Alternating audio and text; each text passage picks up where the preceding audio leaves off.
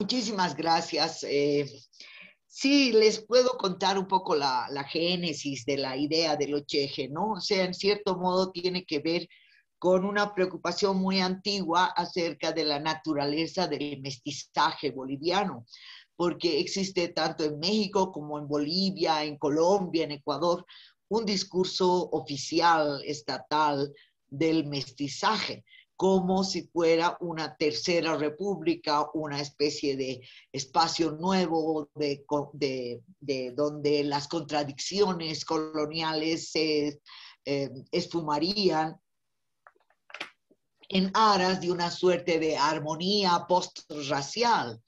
Eh, esta es una idea que en cierto modo permitió la hegemonía de una versión occidentalizante de la mezcla racial.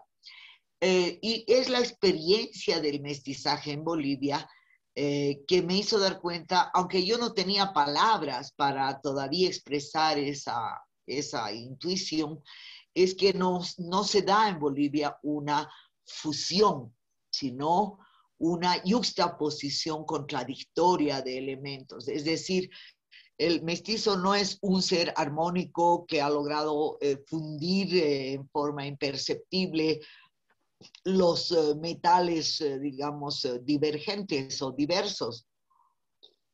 El mestizaje está lleno de contradicciones porque habitan de forma yuxtapuesta y contrapuesta elementos indios, elementos europeos, en una suerte de esquizofrenia colectiva que Bateson, un psicólogo, antropólogo de Estados Unidos, le llama double bind, o sea, el doble, eh, eh, eh, una especie de doble lealtad hacia imperativos éticos que son contradictorios y que si uno obedece uno de ellos, está implícitamente negando al otro. Entonces, en esa situación, eso pasa, según Bason, a nivel del individuo, ¿no? El, del individuo esquizofrénico, pero eh, Gayatri Spivak lo plantea de un modo más eh, colectivo, histórico.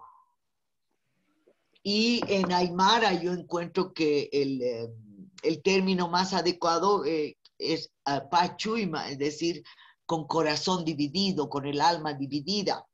Eh, y esa situación, bueno, yo no la tenía muy clara, simplemente sentía que éramos una mezcla muy rara, que no se fundía totalmente y en la cual eh, vivían en diferentes tiempos y espacios identidades eh, diversas, contradictorias, ¿no? en eso yo estuve el año 96 aproximadamente haciendo un video de, ah, no, fue el 92, eh, haciendo, hice un video de homenaje a los muertos de una masacre, eh, que fue eh, de donde surgió la idea del ocheje, porque entrevisté a un escultor aymara que me dio la frase clave que luego la puse de título a mi libro, que es Ejenakaj Utjiwa, es decir, en forma enfática existimos la gente manchada, mezclada, impura, Y que no genera un nuevo color.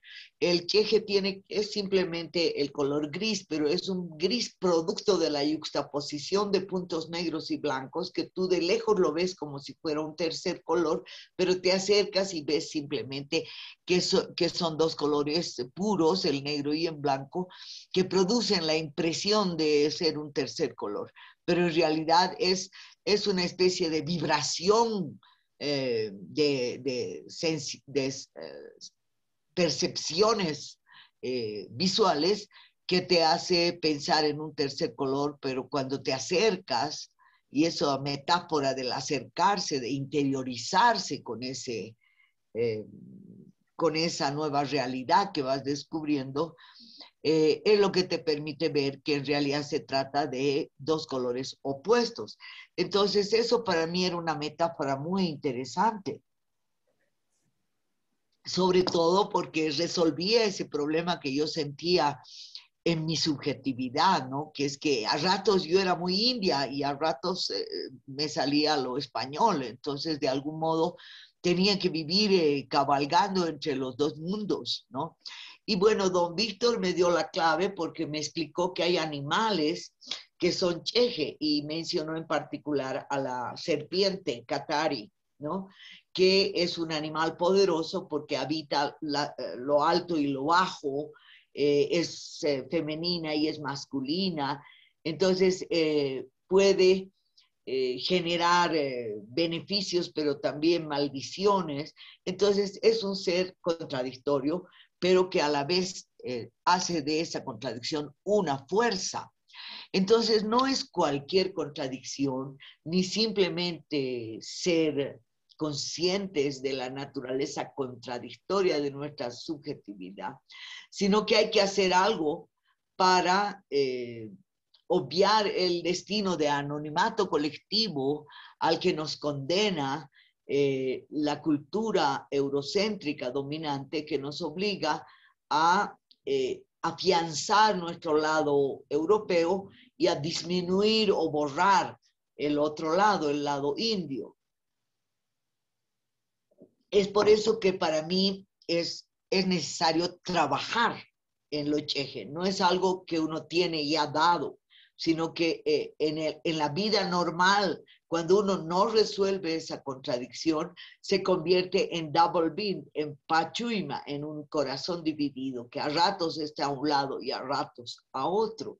Entonces, eh, la idea de los chejes supone eh, elevar el lado indígena, que es el lado oculto, oprimido y negado, y para eso es también necesaria otro tipo de memoria, la imagen dialéctica de Benjamin me parece muy acertada como idea porque permite la irrupción de un pasado en el presente y permite reconfigurar ese pasado y sobre todo es el pasado de los derrotados. Entonces, claro, yo las primeras cosas que he escrito en mi vida tenían que ver con la historia aymara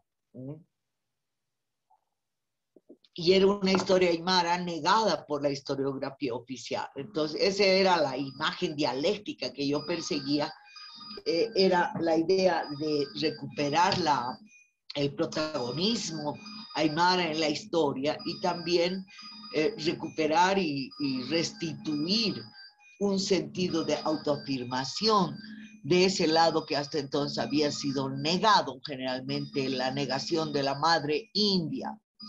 ¿No? O la negación de los rasgos indios que podría persistir en la subjetividad de cada una de nosotras. Así que también se combinó eso con mi percepción de la opresión femenina, ¿no? Es decir, lo femenino es también como el lado indio, eh, el lado suprimido, oprimido de nuestra subjetividad. Entonces yo creo que eh, las ideas de los cheques fueron evolucionando incluso hasta el punto de pensar en que la contradicción no podía ser de dos entidades en bruto, sino que había que trabajar en ambas, limar las fricciones y también depurar y radicalizar la contradicción. O sea, si una persona es india, es más india, tiene que serlo para enfrentar el otro lado. Y por otro lado, la, depuración, yo entiendo que es una especie de quitar lo superfluo. Lo superfluo del aporte europeo es que la igualdad solamente se sitúa en el mercado, en la apariencia de igualdad que da el consumo de mercancías. Apariencia que esconde eh, la negación eh, que esta supone.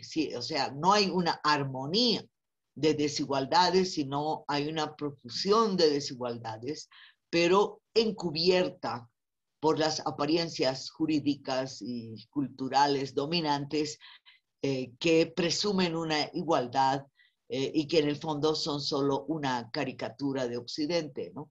Entonces, esta idea de, por un lado, elevar y poner a la altura el lado indio con el lado europeo, eh, va también consigo el eh, pulir las asperezas, es generar espacios de diálogo de algún modo que muestren que la descolonización eh, es necesaria no solo para los indígenas, sino especialmente para los mestizos y mestizas, porque somos incluso más colonizados y nos eh, necesitamos liberarnos de esas ataduras coloniales para poder reintegrarnos en un diálogo de iguales con el mundo indio, ¿no? Entonces, de hecho, mis inquietudes eh, ah, muy tempranas me llevaron a eh, buscar alianzas con el movimiento catarista, indianista, todo lo cual revirtió en un nuevo enfoque y claro, mi libro Oprimidos pero no vencidos todavía es muy tímido en la mm, diagnosis del colonialismo. Eh, y mucho menos eh, del ocheje o del mestizaje, ¿no?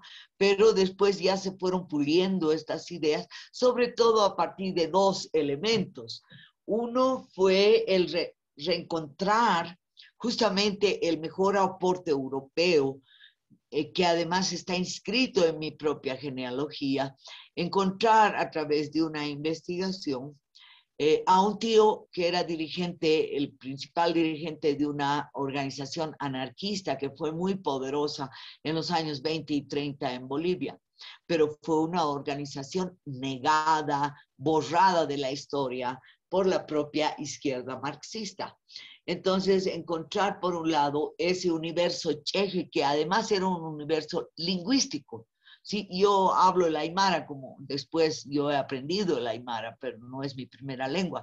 Y entonces me doy cuenta que el discurso de Kusikanki, que era mecánico, era trabajador manual, eh, firmaba además como indio aymara, eh, está lleno de interferencias lingüísticas que son en el fondo muy enriquecedoras, porque en aymara eh, la palabra jiwasa, o sea, hay cuatro eh, hay varias formas de decir nosotros. Hay un nosotros que solamente incluye a los míos y no al interlocutor, y hay un nosotros que incluye al interlocutor, que es el jiwasa. Entonces se nota al tiro en la escritura de Kusikanki eh, en castellano, como él a veces habla de un nosotros inclusivo y a veces de un nosotros excluyente. Entonces, estas interferencias, lejos de ser eh, producto de una pobre asimilación del castellano, enriquecen el castellano y además dialogan con nuestras formas coloquiales de hablar, porque en Bolivia hablamos varios dialectos, como lo señala Gloria Ansaldúa, ¿no? que ella habla como seis dialectos según con quién hable y en qué lado de la frontera se encuentre.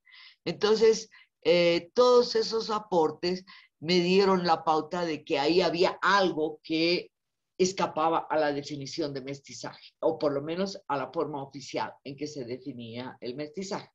Y la otra gran fuente de esta idea fue Guamán Poma de Ayala, que como ustedes saben fue un indígena quechua, eh, descendiente de un linaje de principales, que escribió una carta de 1200 páginas al rey Felipe y de las cuales casi 400 son dibujos. Es un extraordinario personaje, Guamampoma de Ayala, y es epítome de lo cheje, porque en él se yuxtaponen, tanto en el texto como en los dibujos, chocan dos concepciones, concepciones del espacio, de las jerarquías espaciales asociadas con la derecha, la izquierda, lo alto, lo bajo, el papel de las diagonales, como lo ha estudiado Rolena Adorno. Entonces, pues Guamán Poma es un personaje cheje que muestra con toda claridad cómo es posible yuxtaponer estas contradicciones que posiblemente en la subjetividad del autor no las siente realmente como contradicciones. Entonces despliega eh, una ir y venir constante entre su eh, percepción como quechua y el influjo sobre todo de la religión cristiana. Es un cristianismo adoptado con sinceridad, pero a la vez eh, que protege de algún modo otras formas de religiosidad y de culto que Poma también practica, ¿no? Aunque él explícitamente eh, niega como válidas las creencias indígenas en el ámbito de lo sagrado, eh, es notorio que la memoria que él expresa es una memoria cheje, es una memoria que tiene que ver con el conocimiento profundo del significado de las percepciones y de las creencias indígenas. Pero además, él es un aculturado que no niega que su visión es, comparte la visión de los colonizadores, de los indios como herejes y, salvajes e idólatras, ¿no? Eh, y todo esto lo lleva a permanentemente eh, saltar de un polo a otro de la contradicción. Entonces me pareció a mí un ejemplar de personaje que tenía esta subjetividad cheje.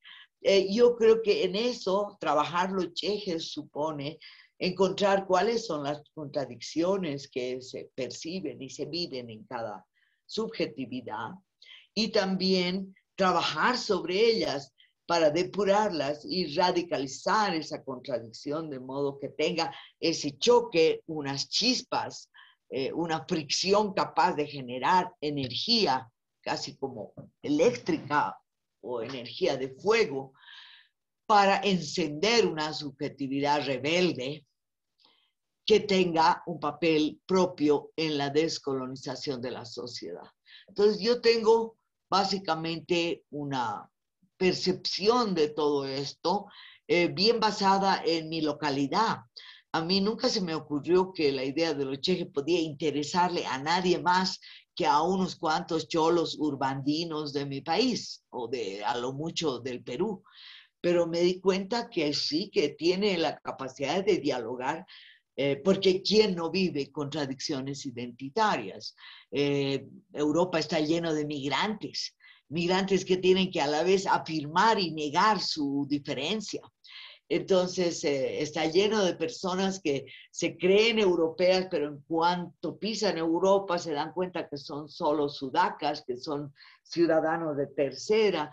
Entonces, recurren a una identificación muy intensa con sus tradiciones culturales. De ahí es que tenga tanta impacto, digamos, eh, la presentación de entradas folclóricas y de danzas, etcétera, personas que en, su, en Bolivia no habían manifestado ningún interés por esas manifestaciones culturales, de pronto se ven eh, engullidas por una globalización que los desprecia y los niega, y al aferrarse a su alteridad, están haciendo eso justamente, están haciendo eso de eh, radicalizar el lado indio y bueno, eso tiene sin duda efectos descolonizadores. Y pienso yo que para toda sociedad e idioma colonizado, como es el vascuense o el euskera, eh, y que puede ser extensible a todas las minorías en Europa,